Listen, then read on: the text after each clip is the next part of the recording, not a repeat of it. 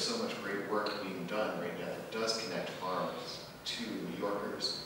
Are you or the mayor's office looking at program expansion with those organizations or working off of those models to further that impact?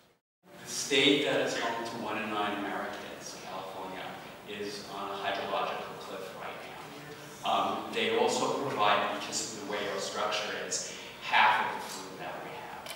They have to completely rethink their agriculture um, and their energy um, extraction, which brings us to the opportunity for New York and other, other states on this side to, to regrow family farms, certainly in the food shed of New, New York. But that raises a whole other things.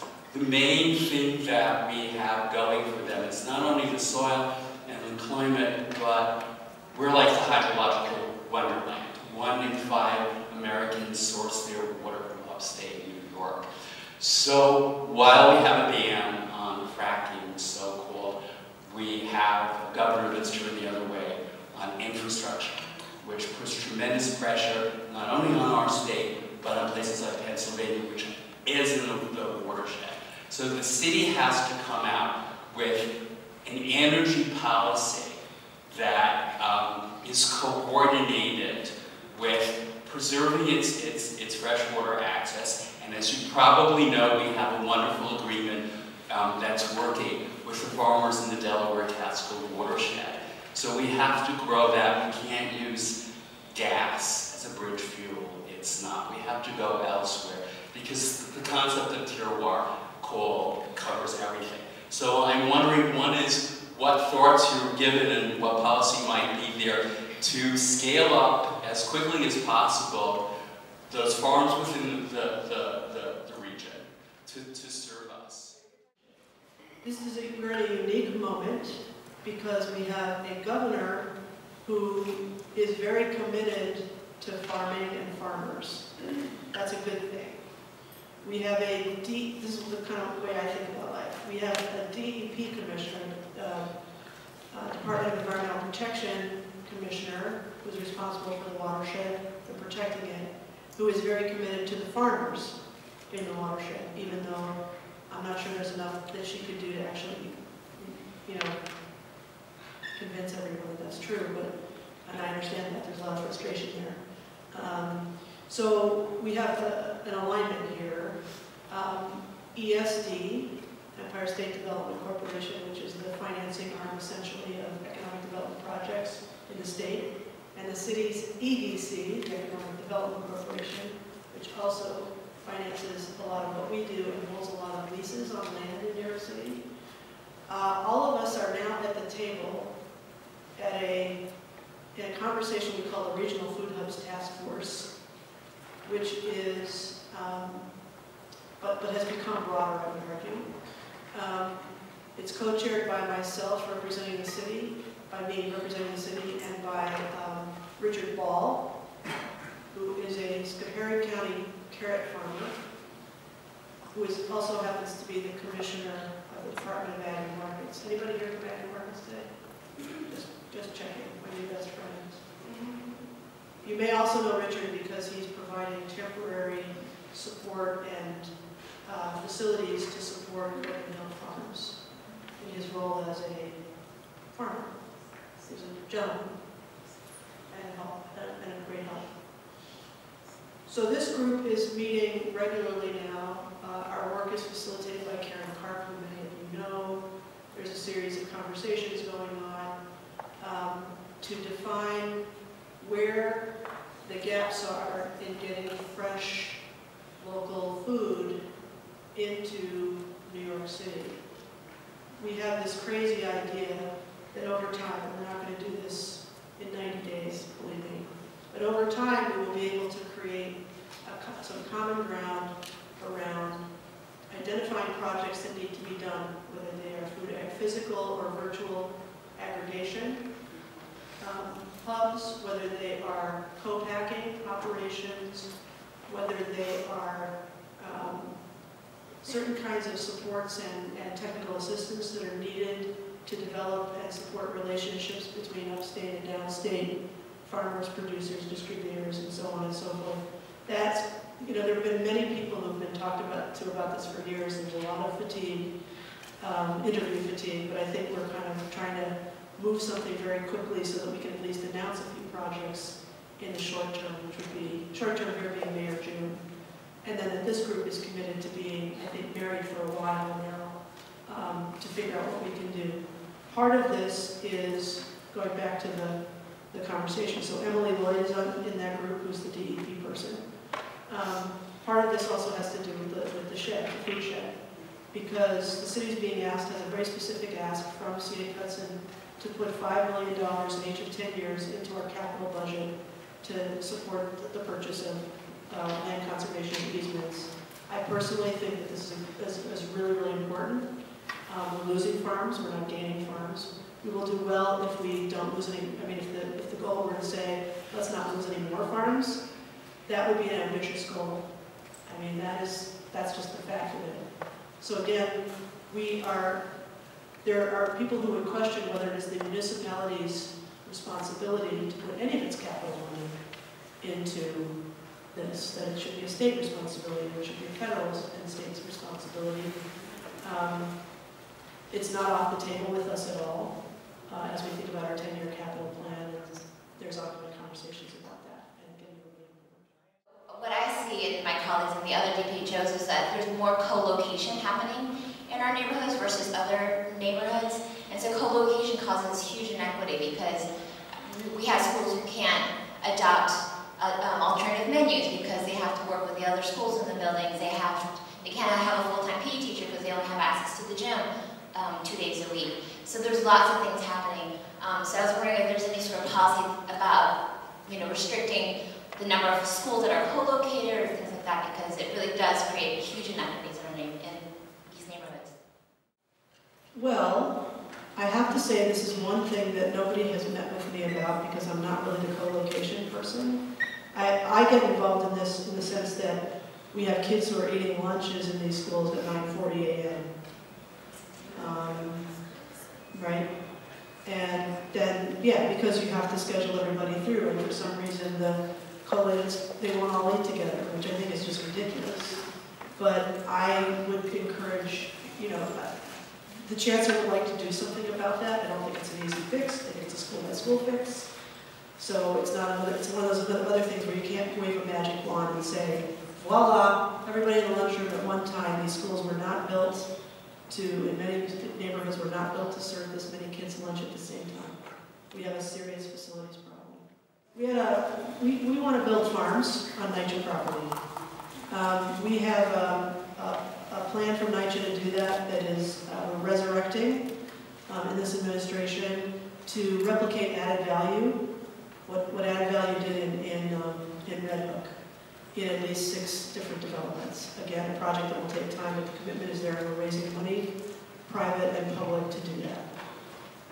Um, the other piece of this is there's an initiative that has not really been launched, it's kind of soft launched, Building Healthy Communities Initiative, which is an effort to um, part of that, it's, a, it's an open space initiative, and part of the open space initiative, this was a place where I saw an opportunity to say, hey, gardens are open space, open spaces too, it's not just parks, it's not, it's not just um, what transportation is doing with transportation. I the, a cold. And um, it's also about what do we do, you know, there's no cheaper way to build a community center than to build a garden. There's no cheaper way to build a classroom than to build a garden. There is no cheaper way uh, to build a community center, an interactive place for, for, for intergenerational activity. I'm sorry, I keep giving you guys my shoulder. Um, there's no better, there's no cheaper and easier way than to do a garden. Um, and so um, I am convinced that we need more to do more to solidify what's already there and to protect the gardens that are um, currently designated for development. There is a conversation going on about transferring as many gardens as we can from HPD to Parks jurisdiction. Again, nothing that I can announce here, obviously, but we're in that, that conversation.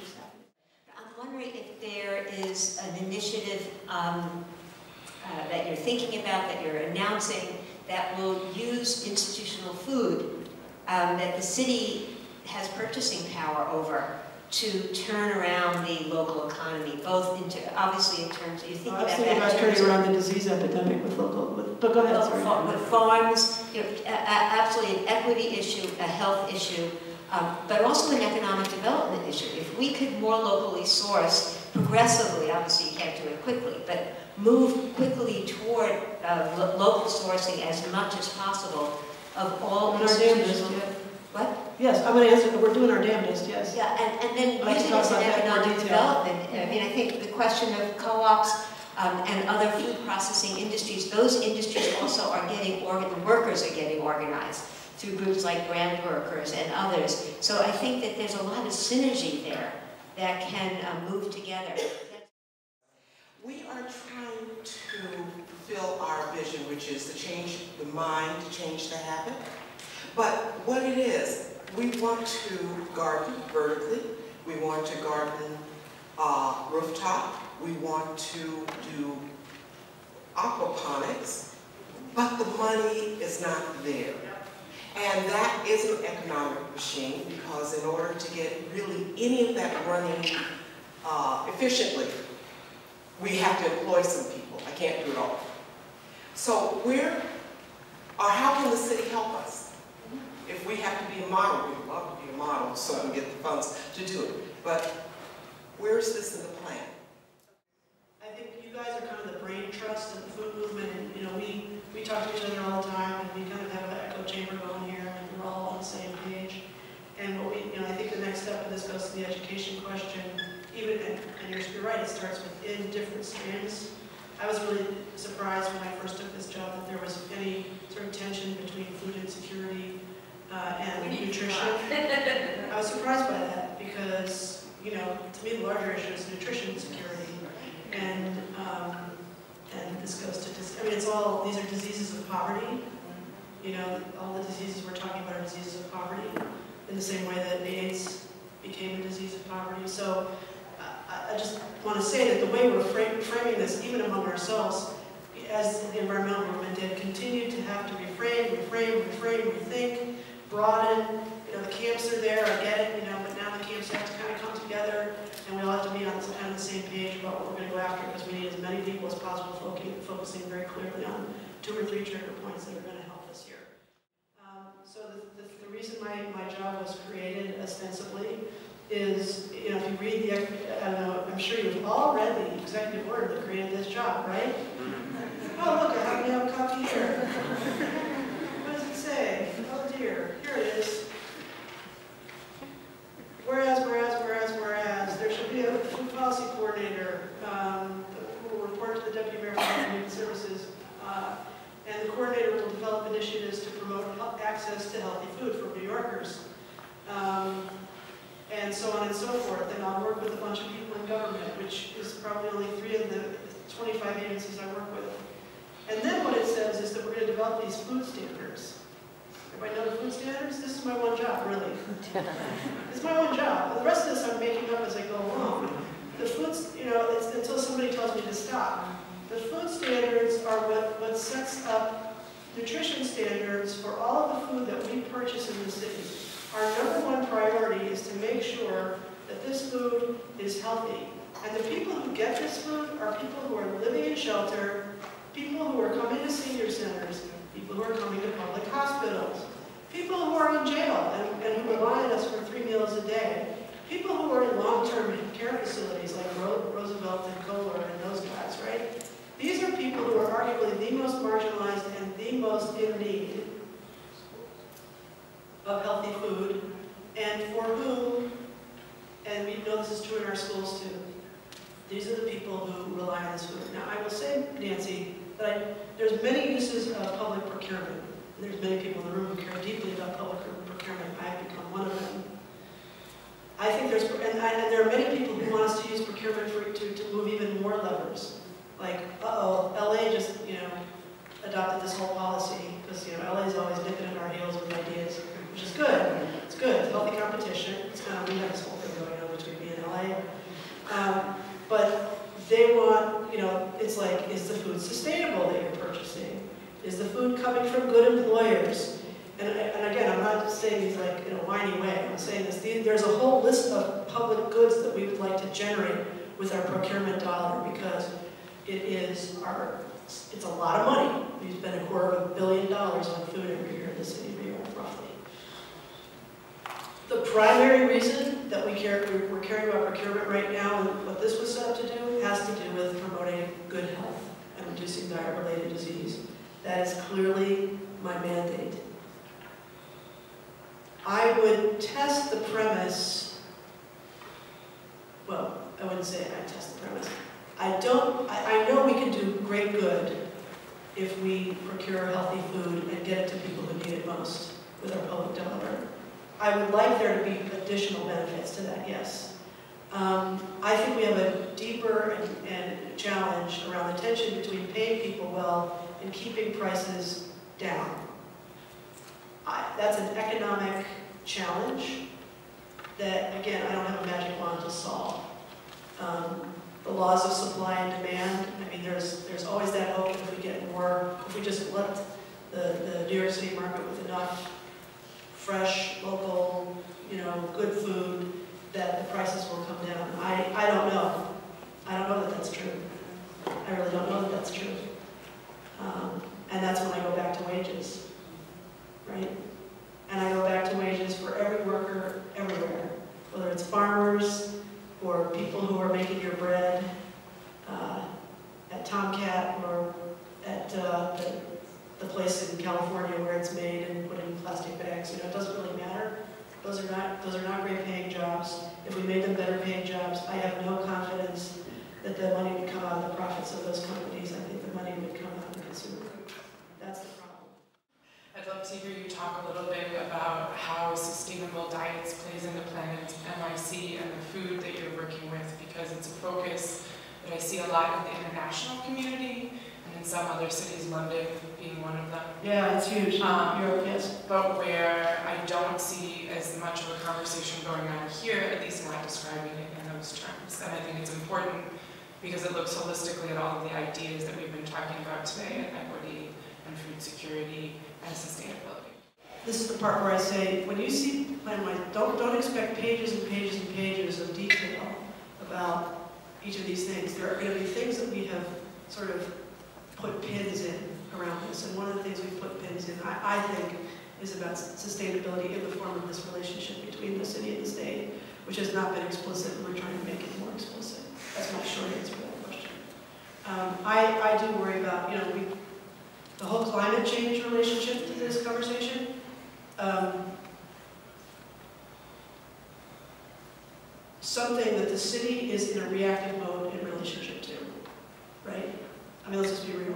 Again, this is something where we need to get on the horn with our, our, you know, members of Congress. This is the issue we will, we, we need to vote on in 2016, we need to hold people accountable for talking about what their plan is for, you know, if, if, you know, since California is dry, it's not if, it's, it is, you know, California is drying up, you know, the food, the food sheds of America are gonna move to places where there's water.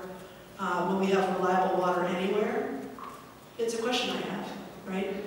Every, everywhere, I just heard Jane Goodall speak a couple, uh, last week, and she says everywhere she goes around the world, everybody says the weather's weird. Everywhere around the world, is there any place where the climate would be predictable enough for agriculture? These are like the questions that keep us all up at night.